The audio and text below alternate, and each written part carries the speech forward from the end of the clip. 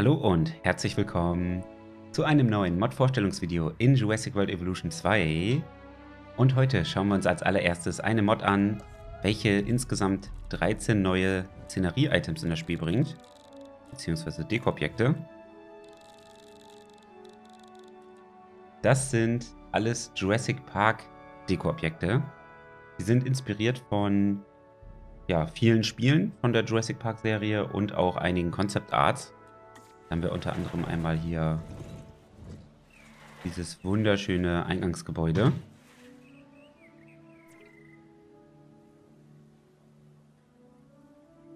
Die Objekte sind übrigens reine Deko.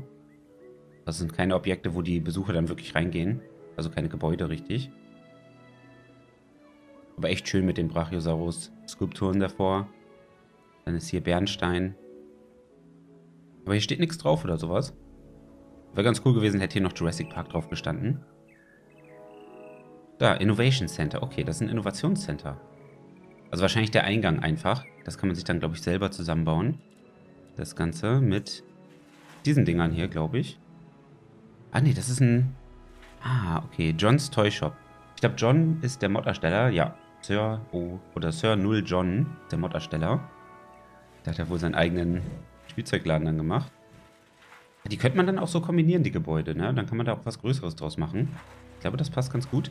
Ich platziere es jetzt erstmal so, dann können wir uns das angucken. Weil hier sind auch Details in den Schaufenstern.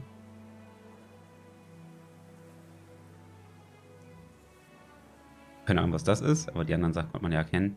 Und auch hier sind noch ein paar Details drin. Oh, hier sind auch noch ein Jurassic Park ist das Super Nintendo Spiel. Degosaurus. Rexy. Und da ist auch das Gameboy Spiel. Finde ich cool. Und da kann man dann, wie gesagt, glaube ich, auch ein riesiges Gebäude draus bauen, wenn man die kombiniert, weil man kann die auch alle ineinander platzieren. Es geht sogar, glaube ich, dann äh, ohne die Freebuild-Mod, weil die halt eine sehr kleine Hitbox haben, glaube ich, nur die äh, Geschäfte. Das ist, glaube ich, nur dieses kleine Viereck da, wo meine Maus genau ist. Seht ihr das? Ich glaube, das ist die Hitbox. Es kann natürlich ein Vorteil sein und auch ein Nachteil. Das heißt, Dinosaurier könnten zum Beispiel durch die Gebäude durchlaufen. Dann kann man die Wände der Gebäude, also das hier, nicht als äh, Zaun verwenden. Aber dafür kann man dann auch ohne Probleme da durchbauen und sowas. Das ist halt auch ein Vorteil. Okay, das ist so ein Lautsprecher mit Bildschirm dran, so wie es aussieht. Ja, Mr. DNA ist da drauf.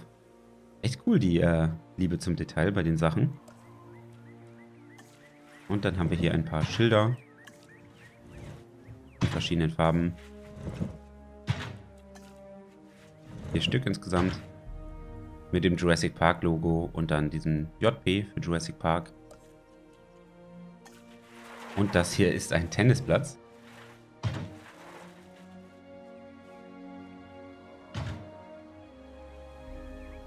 Ja gut, das Gras müsste ich jetzt hier unter entfernen, damit es besser aussieht im, vom Nahen. Können wir mal schnell machen. Ja, und dann ist es einfach ein Tennisplatz. Keine Ahnung, woher der genau kommt, ehrlich gesagt. Wahrscheinlich aus irgendeinem Jurassic Park Game oder so. Aber ich kann die Sachen allgemein auch nicht zuordnen, muss ich sagen. Also wenn ihr da wisst, woher diese Gebäude und sowas kommen, könnt ihr das gerne in die Kommentare schreiben. Das hier ist ein Mülleimer. Auch mit dem Jurassic Park Logo drauf.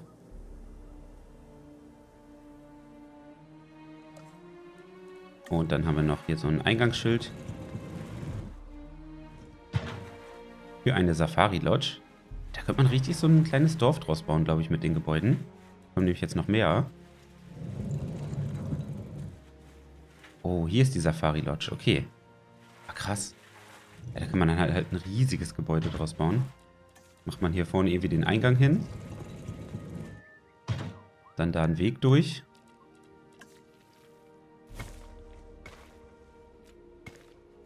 Dann ungefähr so. Also ich muss es jetzt ja nicht perfekt machen. Ich glaube, man kann das schon ganz gut erkennen. Man könnte die dann ja auch noch kombinieren miteinander, die Gebäude, indem man das irgendwie vergrößert und äh, einfach so einen richtigen großen Besucherbereich dann baut. Sieht schon echt cool aus.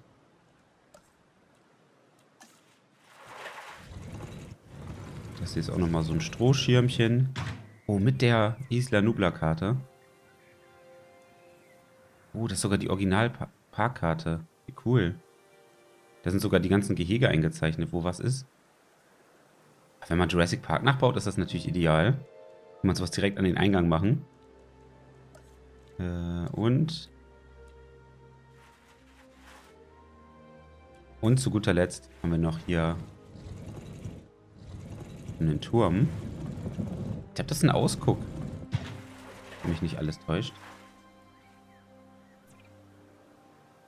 Command Compound, okay. Ja, das ist wirklich so ein Ausguck für die Mitarbeiter. Da kann man dann natürlich auch den Weg reinführen, damit das auch verbunden aussieht, das Gebäude. Ach so. Und dann können die Mitarbeiter dort von hier oben in die Gehege zum Beispiel schauen oder irgendwas anderes überwachen. Ich glaube, man kann das schon ganz gut sehen, ne? Das sieht schon echt cool aus, die Sachen. Hier finde ich es auch besonders cool, dass das hier noch solche Stege hat. Also, dass die Besucher hier so rausgehen können und dann hier so eine Terrasse quasi haben. Beziehungsweise ein Balkon ist es ja eher. Ey, wisst ihr, was ich meine?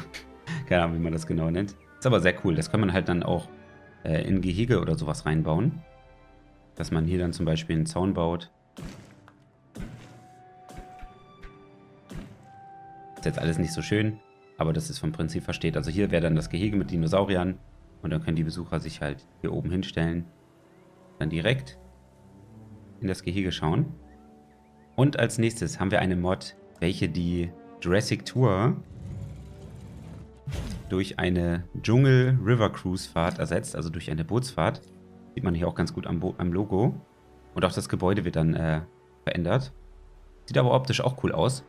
Passt halt auch wieder perfekt mit den Strohdächern. Zu der anderen Mod, die ich euch gerade gezeigt hatte. Also das ist eine ganz unabhängige Mod. Also das hier ist nochmal eine eigene Mod jetzt, die ich euch zeige. Ich mache jetzt mal hier schon mal so eine kleine Strecke. Dass ihr es schon mal seht. Und dann fahren hier die Boote los.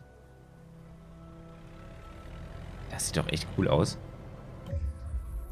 Hat das Jurassic Park Logo vorne drauf.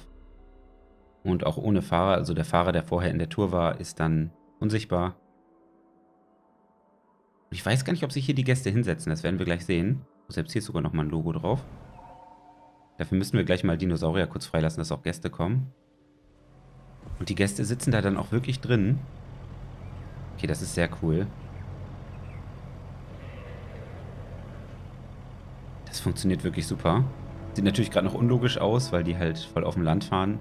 Aber das kann man auch noch ändern, denn passend zu dieser neuen Tour ist auch eine neue Dekorationsmod gekommen. Und diese bringt 14 neue Deko-Objekte ins Spiel.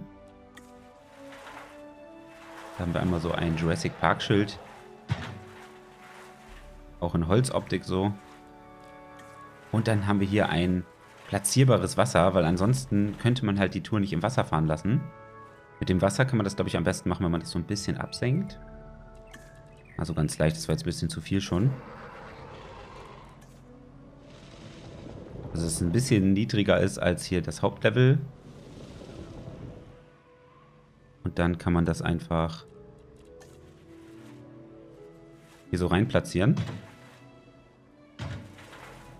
funktioniert dann auch echt gut. Jetzt seht ihr gleich, dass das Boot dann auch im Wasser fährt. Gibt es leider nicht diese Spritzer-Effekte oder so, aber das sieht jetzt auf jeden Fall schon nach Bootstour aus.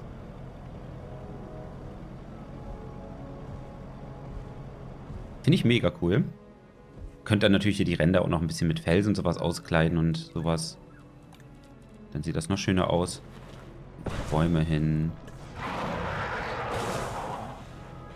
Natürlich Felsen, also da kann man sich dann austoben, wie man möchte.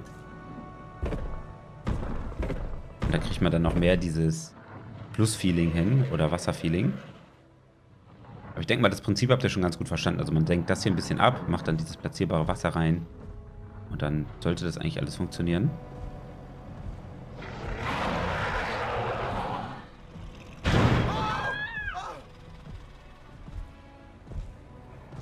Der Baryonyx hat gar keinen Bock auf die Gäste.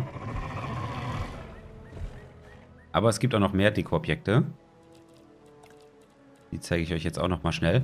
Wenn das natürlich schon hier die Mega-Attraktion ist, einfach so eine Bootstour durchs Gehege. Werde ich irgendwann auch noch mal schön bauen, denke ich. Es gibt aber zum Beispiel auch noch hier so ein Gebäude.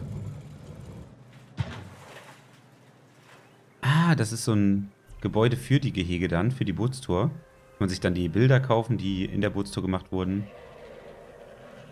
Hier sind nochmal Toiletten drin. Ah, da kann man sogar in die Toilette reingucken. Ah ne, das ist gar keine Toilette hier. Das ist ein kleiner Kiosk. Ach ja, steht ja hier. Jurassic Park. Heißt das Ganze wohl? So ein Café oder sowas. So, hier können die Leute dann nochmal Sachen kaufen. Hier können die Bilder kaufen.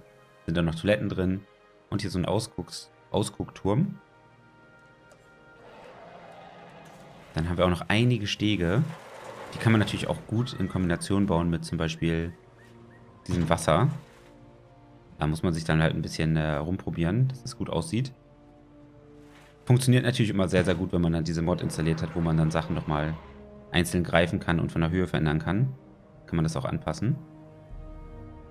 Diese Stege gibt es dann in ganz vielen verschiedenen Formen. Da kann man dann wirklich alles so bauen, wie man es möchte. Verschiedene Formen, verschiedene Größen. Dann haben die teilweise die Geländer an verschiedenen Seiten. Und äh, wenn man die entfernen will, sieht man das übrigens auch mal ganz gut. Dieser Punkt hier ist halt da, wo man rüber havern muss, damit man das entfernen kann. Und auch an diesem Punkt kann man dann mit dieser, äh, wie heißt die? Move Tool Freeform. Genau, mit diesem Move Tool kann man die dann auch bewegen. Das Move Tool kann ich für euch auch in der Videobeschreibung verlinken, wenn ihr wollt. Weil damit kann man das halt gut kombinieren. Dann kann man das nämlich nochmal von der Höhe und so verändern. Und dann kann man auch, also es gibt hier ganz viele Stege, aber es gibt zum Beispiel auch Brücken. Ich glaube, ich habe euch jetzt ja fast alle gezeigt. Ja, mit diesen Formen kann man auf jeden Fall schon gut arbeiten. Und es gibt dann auch noch zwei Brücken. Einmal diese hier und einmal eine längere. Und da kann man dann natürlich auch das Ganze sich greifen bisschen höher machen. Das war schon ein bisschen zu hoch. Oh, den wollte ich nicht greifen. Jetzt kriege ich die gerade nicht gegriffen. Ja, wenn man das nicht äh, hinbekommt, muss man mal gucken, wo dieser Punkt ist, weil hier kann man den immer greifen. Und dann kann man sozusagen die Bootstour da unten durchfahren lassen. Wir spulen mal ein bisschen vor, bis das Boot jetzt kommt, dann seht ihr das.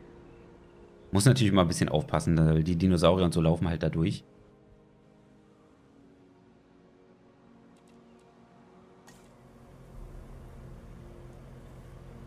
Das sieht doch eigentlich dann ganz cool aus. Leider benutzen die Besucher natürlich diese Brücken nicht. Sind halt nur optisch. Aber ich finde es trotzdem cool, dass man halt so, so ein Stege- und Brückenset hat. Das hat uns eigentlich immer gefehlt. Aber es gibt noch mehr Sachen. Denn wir haben hier zum Beispiel noch eine Karte von der Original River Cruise aus dem Jurassic Park. Hier ist dann die Strecke. Geht durch viele Gehege. Hier ist auch wieder Mr. DNA. Rückseite ist nichts. Dann haben wir noch ein sehr cooles Artwork von Jurassic Park. Und als nächstes haben wir noch ah, noch ein cooles Artwork. Ah, das ist sogar von der River Cruise. 1994 sollte die eröffnet werden. Das heißt, die wurde nie eröffnet, weil ja der Film äh, 93 spielt. Und wir haben hier dann auch noch so eine riesige Überdachung.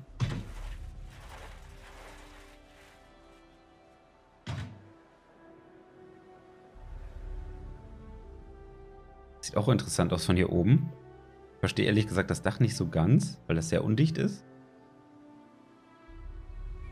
Aber das wird wahrscheinlich auch aus irgendeinem Jurassic Park Artwork kommen oder Game oder so. Gehe ich mal von aus. Und zu guter Letzt... Nee, das war's, glaube ich. Ja, das war's. Die Sachen hatte ich euch vorhin schon gezeigt. Das war von der anderen Mod. Also es waren jetzt insgesamt drei Mods. Einmal dieses Gebäudeset hier. Dann die Bootstour. Die wird übrigens ersetzt. Also die ersetzt halt die normale Jurassic Tour. Die kommt nicht zusätzlich ins Spiel. Und dann gibt es noch äh, diese Deko-Objekte, die ich euch gerade gezeigt habe. Hier diese Sachen. Das ist halt das äh, passende Set zu der Dschungel River Cruise Fahrt. Diese Deko-Objekte kommen übrigens zusätzlich ins Spiel, die überschreiben nichts. Halt nur die Bootstour, die etwas überschreibt. Aber die finde ich richtig cool, die Bootstour, muss ich sagen. Vor allem, dass die auch so gut funktioniert. Und wenn man sich da Mühe gibt, dann kann man sicherlich eine richtig coole Bootsfahrt auch bauen, die optisch mega gut aussieht. Werde ich auf jeden Fall irgendwann mal mit euch machen. Ja, aber Leute, das soll es jetzt mit dem heutigen Video gewesen sein. Ich hoffe, diese Mods haben euch gut gefallen. Ich verlinke die alle für euch unten in der Videobeschreibung. Genauso wie, die, wie das Move-Tool. Und wünsche euch jetzt noch einen angenehmen Tag. Würde mich über ein Like freuen. Macht's gut, haut rein. Euer Dandy.